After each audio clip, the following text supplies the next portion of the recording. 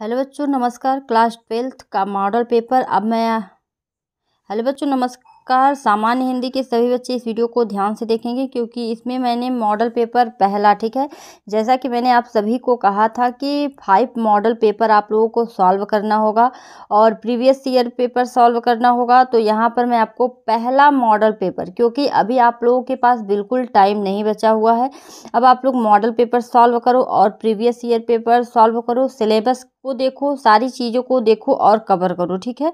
तो पहला model paper आप लोगों का आ चुका है, सभी इसको देखेंगे और अगले दिन आप लोगों का दूसरा मॉडल पेपर आएगा। ऐसे आपको पाँच मॉडल पेपर मैं प्रोवाइड करूँगी, उसके बाद आप लोगों को और हल सहित, ठीक है? यहाँ पर आपको हल भी दिया जाएगा और उसके बाद प्रीवियस ईयर पेपर ऐसे ऐसे आपको सारी चीज़ें दी जाएँगी। तो चलिए शुरू करते हैं। सबसे पहले देखिए तीन घंटे पंद्रह मिनट का जैसे समय आपको मिलता था, वैसे ही आपको समय मिलेगा, ठीक है? तीन घंटे पंद्रह मिनट का। और सौ नंबर का पूर्णांक होगा। और जिसमें कि आपके दस नंबर जो हैं, दस ऑप्शनली क्वेश्चन होंगे। यहाँ पर सबसे पहले आप लोगों को पेपर जब आप लोगों को मिलेगा बोर्ड में तो आपको सबसे पहले निर्देश पढ़ना है, ठीक है? ताकि आपसे कोई भी मिस्टेक ना हो। सबसे पहले पेपर को अच्छे से पढ़ा करिए। तो यहाँ पर देखिए, प्रारंभ के पंद्रह मिनट परीक्षार्थियों को प्रश्न पत्र पढ़ने के लिए दिया जा रहा है और सभी प्रश्नों का उत्तर देना अनिवार्य है, ठीक है? आप लोग सभी प्रश्नों का उत्तर देना अनिवार्य यहाँ पर लिख दिया है। फिर भी आप लोग प्रश्न पत्र में जाते हो बोर्ड पेपर में जब पेपर देने तो आकर बताते हो कि एक प्रश्न छूट गया, कोई कहेगा दो प्रश्न छूट गया। वो चीज़ नहीं होना चाहिए, ठीक है? आप लोगों का वो चीज़ नहीं होना चाहिए। सारे प्रश्नों को अगर आपको आता है, फिर भी आपको सॉल्व करना है। नहीं आता है, फिर भी सॉल्व करना है, ठीक है? ताकि हमको जहाँ पर पाँच नंबर मिलने का है, वहाँ पर हमको तीन नंबर देने से एग्जामिनर बिल्कुल ना चूके, ठीक है? तीन नंबर हमको लेना ही लेना है। फिर जाकर हमारे अच्छे मार्क्स बनेंगे। सभी प्रश्नों हित निर्धारित अंक उनके सामने दिए गए हैं। आप सब देख सकते हैं कौन सा प्रश्न कितने अंक का है, ठीक है? यहाँ पर पहला प्रश्न देखेंगे। पहला प्रश्न, स्मृति की रेखाएँ कृति है तो किसकी यहाँ पर चार ऑप्शन दिए गए हैं? जैनेन्द्र कुमार, मोहन राकेश, महादेवी वर्मा राय कृष्ण दास। तो यहाँ पर यह महादेवी वर्मा की, स्मृति की रेखाएँ जो है महादेवी वर्मा की है, ठीक है? तो अगला क्वेश्चन देखेंगे दूसरा। नासिकेतो पाख्यान के रचयिता हैं तो नासिकेतो पाख्यान के रचयिता कौन है? यहाँ पर चार ऑप्शन दिए गए हैं ईसा अल्लाह खां सदल मिश्र प्रताप नारायण मिश्र काशीनाथ खत्री। तो सदल मिश्र इसका सही ऑप्शन होगा, सदल मिश्र ठीक है? अगला क्वेश्चन बहुत ही इंपॉर्टेंट सारे क्वेश्चन हैं, इनको ध्यान से पढ़िएगा। तपोभूमि रचना किस विधा की है? तपोभूमि रचना किस विधा की है? तो चार ऑप्शन यहाँ दिए गए हैं, आप देख सकते हैं। तो उपन्यास इसमें सही ऑप्शन है, ठीक है? और अगला जो है, नागरी प्रचारणी सभा की स्थापना हुई। कौन से युग में हुई है? तो नागरी प्रचारणी सभा की स्थापना द्विवेदी युग में हुई है, ठीक है? सरस्वती पत्रिका का जो है, संपादन द्विवेदी युग में हुआ है और नागरी प्रचारणी सभा की स्थापना भी द्विवेदी युग में हुआ है, ठीक है? अगला क्वेश्चन देखेंगे। गुनाहों का देवता कृति है। तो गुनाहों का देवता धर्मवीर भारती की कृति है और प्रिय प्रवास के रचनाकार हैं। तो प्रिय प्रवास के रचनाकार कौन है? प्रिय प्रवास के रचनाकार जो हैं, अयोध्या सिंह उपाध्याय हरिओद है। ठीक है, कौन है? अयोध्या सिंह उपाध्याय हरिओद। अगला क्वेश्चन देखेंगे। हम महाकाव्य है। तो हिंदी का प्रथम महाकाव्य पृथ्वीराज रासो है। ठीक है, कौन सा? पृथ्वीराज रासो। अगला क्वेश्चन देखेंगे, साकेत कृति के रचनाकार हैं। तो साकेत कृति के रचनाकार कौन है? मैथिली शरण गुप्त और इसकी जो है, यह रचना द्विवेदी युग में हुई है। निम्नलिखित में से कौन सा ग्रंथ आदिकाल का है? तो कौन सा ग्रंथ आदिकाल का है? सूर सागर, पद्मावत, बीसल देवरासो आँसू आँसू, ठीक है? तो बीसल देव रासो जो है, यह आदिकाल का है, ठीक है? क्योंकि ये सूर सागर, पद्मावत और ये सब भक्ति काल के हैं। तो इसमें यही आपका विशलदेव रासो सही ऑप्शन होगा। अगला क्वेश्चन रीतिबद्ध काव्यधारा के कवि हैं। तो मैंने आप लोगों को पढ़ा भी दिया था, रीतिबद्ध और रीति सिद्ध रीति मुक्त टेंथ के लिए मैंने पढ़ाया था। उसमें आप लोग देख सकते हैं, फ़िलहाल ट्वेल्थ वालों का जो है रीतिबद्ध से क्वेश्चन नहीं आएगा, ठीक है? फिर भी जान लीजिए, रीतिबद्ध काव्यधारा के कवि हैं केशव दास, ठीक है? ये मॉडल पेपर है, पिछला मॉडल पेपर है, इसलिए जो है इसमें नहीं दिया हुआ है। अगला जो है तीसरा प्रश्न, निम्नलिखित अवतरणों को पढ़कर उन पर आधारित प्रश्नों के उत्तर दीजिए। यानी कि आपको यहाँ पर गद्यांश पढ़ना है, ठीक है? गद्यांश पढ़ना है, नीचे प्रश्न पूछा गया है, पाँच प्रश्न इससे पूछे गए हैं। इस गद्यांश को पढ़कर आपको पाँच प्रश्नों के आंसर देने हैं, ठीक है? जिसके लिए आपको दो दो नंबर मिलेगा। तो आइए देखते हैं। आप लोग गद्यांश को अच्छे से पढ़ लीजिएगा, ठीक है? उसके बाद यहाँ पर देखिए आंसर देने का। प्रस्तुत गद्यांश के माध्यम से लेखक ने क्या बताया है? तो यहाँ पर जो भी आपको लगे, उसको आपको बताना है, ठीक है? ये कौन से चैप्टर का है? राष्ट्र का स्वरूप, ठीक है? राष्ट्र का स्वरूप, ठीक? और लेखक कौन है? लेखक वासुदेव शरण अग्रवाल। ठीक? वासुदेव शरण अग्रवाल। ठीक है? अब इसका रेखांकित अंश की व्याख्या जो पूछा जा रहा है, इसका आंसर आपको कैसे देना है? रेखांकित, अगर रेखा नहीं खींची हुई है, ठीक है? तो इस तरह से ब्लैक किया हुआ रहेगा।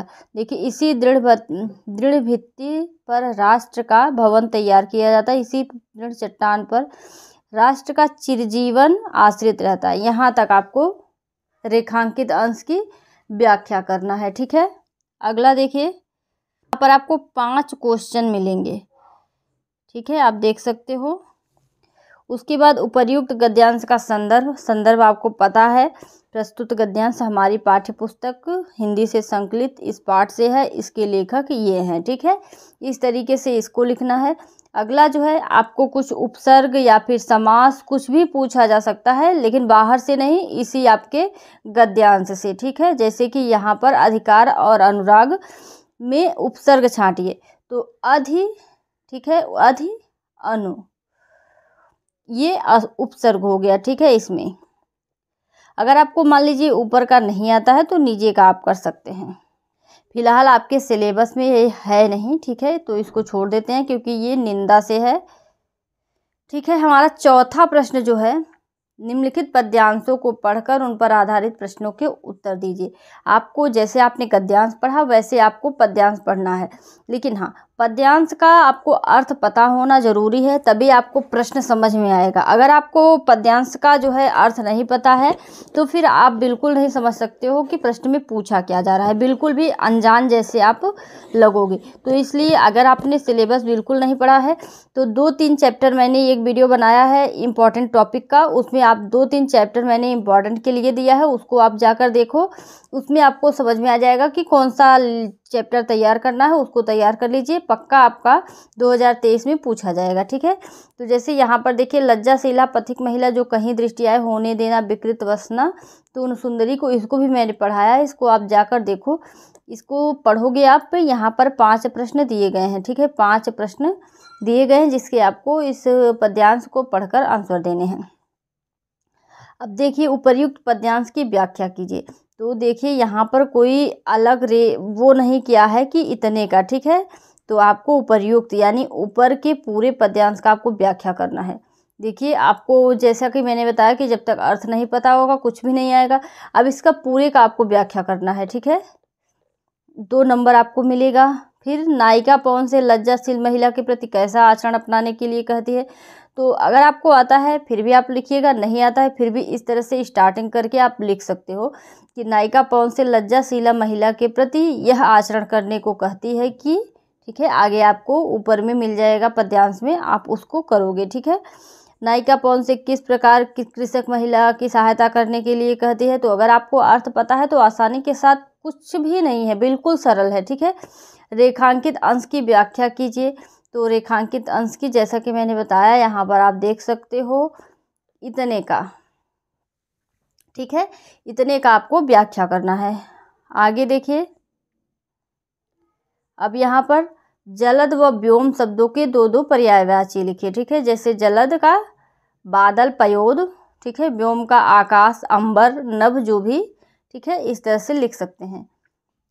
उसके बाद देखिए, अगला है, अगर ये वाला नहीं आएगा तो आप नीचे में, मैं कब कहता हूँ जब मेरी दुर्धर गति के अनुकूल बने, मैंने आहुति बनकर देखा से है, इसको आप कर सकते हो, ठीक है? अथवा वाले का, देखिए, अथवा का जो है, उसका प्रश्न यहाँ पर दिया हुआ है, इसको कर सकते हैं, अगर जो आपको आए, वो उसको करना है, ठीक है? पांचवा प्रश्न हमारा होता है जीवन परिचय का, लेखक के जीवन परिचय का, ठीक है? जिसके लिए आपको पाँच नंबर मिलेंगे, लेखक दिए रहेंगे, तीन लेखक दिए रहेंगे, आपको एक का जीवन परिचय लिखना रहेगा, ठीक है? तो इसका भी मैंने इंपॉर्टेंट टॉपिक का जो वीडियो बनाया, उसमें सारी चीज़ें दी गई हैं, उसको आप पढ़िए, कम सिलेबस में आप अच्छे से तैयारी कर लोगे। निम्नलिखित कवियों में से किसी एक का साहित्यिक परिचय देते हुए कृतियों पर प्रकाश डालिए। यहाँ पर कवि दिए गए रहेंगे। आपको उनमें से एक का जीवन परिचय, साहित्यिक परिचय देते हुए बताना है, ठीक है? अगला देखिए। कहानी से क्वेश्चन पूछा जा रहा है। कहानी आपको तीन दी हुई है, दो पढ़ेंगे, काम हो जाएगा, ठीक है, दो कहानियाँ पढ़ना इंपॉर्टेंट है। कहानी के तत्वों के आधार पर ध्रुव यात्रा कहानी की समीक्षा कीजिए, ठीक है, या फिर पंचलाइट कहानी का उद्देश्य अपने शब्दों में स्पष्ट कीजिए। दो प्रश्न पूछे जाएँगे, आपको एक ही का आंसर देना है, ठीक है, अथवा करके दिया हुआ है ना? तो आपको एक का आंसर देना है, जिसके लिए आपको पाँच नंबर मिलेंगे, ठीक है। अगला हमारा खंडकाव्य से है। खंडकाव्य जैसा कि मैंने आपको बताया है कि जिला के अनुसार करना है। तो आप जो है सिलेबस का वीडियो देखकर उसमें समझ सकते हैं कि कौन से जिला वाले बच्चों को कौन सा खंड काव्य पढ़ना है। अगला जो है संस्कृत गद्यांश खंड ख हमारा संस्कृत गद्यांश है और अगला जो है खंड ख हमारा संस्कृत गद्यांश से है और यह जो है इसमें ग्रामर है और संस्कृत दिग्दर्शिका से क्वेश्चन पूछे गए हैं।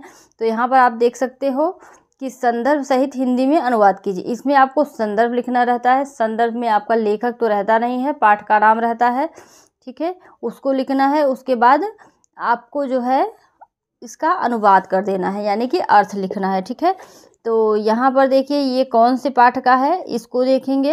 ये आपके सिलेबस में नहीं है, ठीक है? भोजस्योदार्यम से है, ये आपके सिलेबस में नहीं है, इसको छोड़ देंगे, ठीक है? अगला जो है अथवा करके भी दिया है, ठीक है? फ़िलहाल तो जो आपका पेपर अभी आएगा 2023 में, वो आपके सिलेबस से होगा, ठीक है?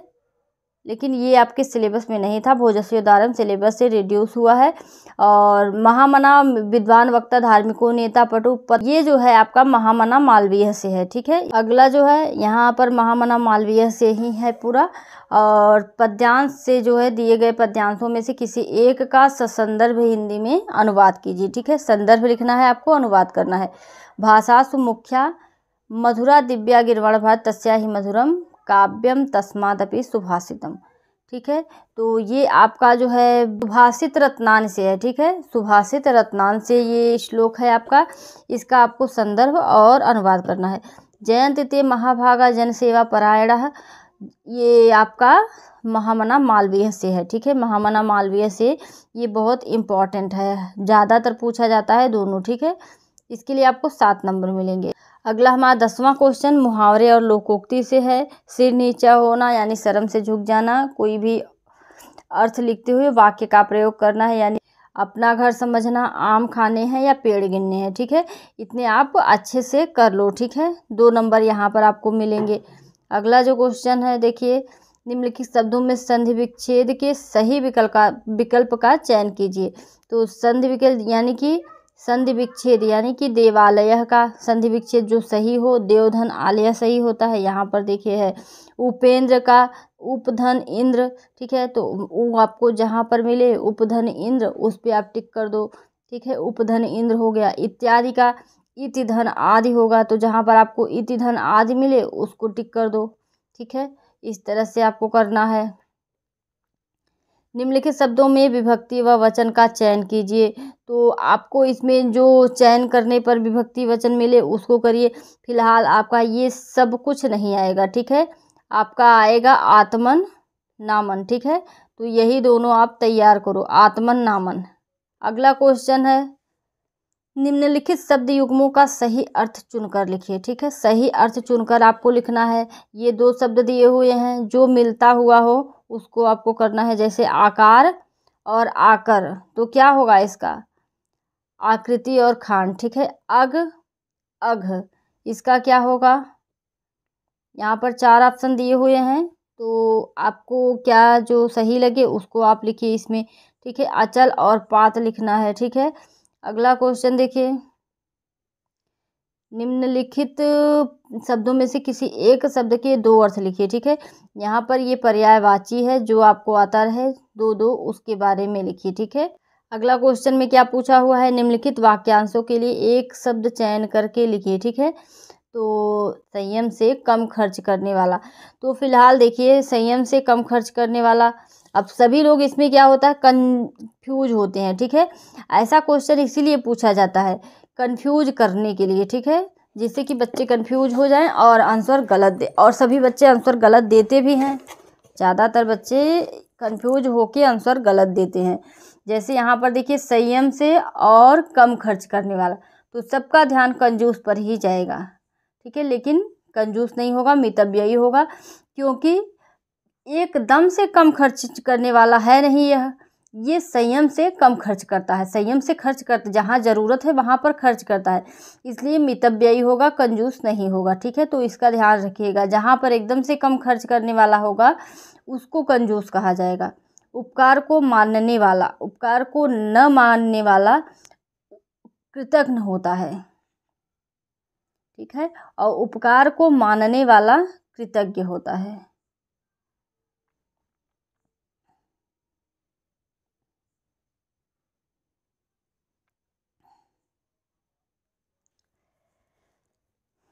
अगला क्वेश्चन निम्नलिखित में से किन्हीं दो वाक्यों को शुद्ध करके लिखो, ठीक है? तो यहाँ पर आपको चार ऑप्शन दिए गए हैं, लेकिन आपको दो करना है, क्योंकि यहाँ पर दो नंबर मिलेंगे। जैसे देखिए, कृष्ण और राधा नृत्य कर रही हैं। तो यहाँ पर तो बिल्कुल आपको सभी को पता चल रहा होगा, लेकिन क्या होता है, घबराहट में, एग्ज़ाम में जब आप लोगों को ये क्वेश्चन मिलते हैं, आप लोग घबराहट में समझ नहीं पाते हो कि मिस्टेक क्या है। जैसे ये तो सीधे देखिए, देखने पर पता चल रहा है कि हाँ गलत है, लेकिन आप लोग नहीं समझ पाते हो। तो जब ध्यान लगाकर पढ़ोगे शब्द को, आसानी के साथ उसकी मिस्टेक समझ में आ जाएगी। कृष्ण और राधा नृत्य कर रहे हैं होगा, ठीक है? रही है, नहीं होगा, ठीक है? इसी तरह से सभी में आपको सही करना है।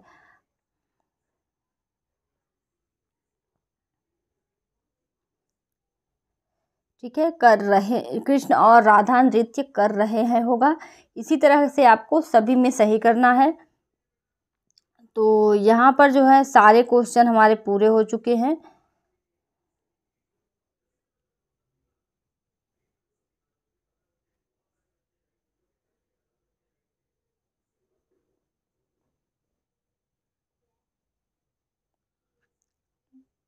अब देखिए आ गया रस, ठीक है? रस, छंद, अलंकार।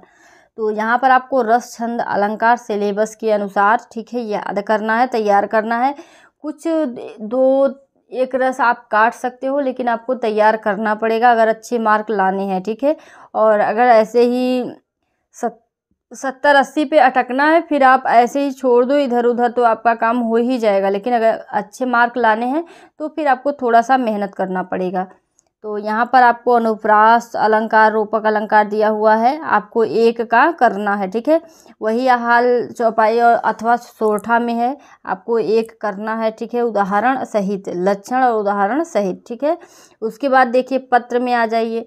आपको पत्र लिखना है, जो सिलेबस में दिया हुआ है, उसको एक बार देख लीजिए कि किस तरह का पत्र पूछा जाना है, ठीक है? उस तरह का पत्र आप पूछिए, ठीक है? आप देखो। उसके बाद पत्र पूछा जाएगा, आपको पत्र लिखना है, जिसके लिए आपको छः नंबर मिलेगा। ठीक है, निबंध यहाँ पर देख लेते हैं। निबंध आपको सभी पर थोड़ा थोड़ा टॉपिक का पता होना चाहिए, ठीक है? कुछ ऐसे निबंध हैं जो हर साल पूछे जाते हैं, जो मैंने आपको बता भी दिया है, फिर से बता दूँगी, जो हर साल पूछे जाते हैं, ठीक है? जैसे देखिए, वन रहेंगे, हम रहेंगे।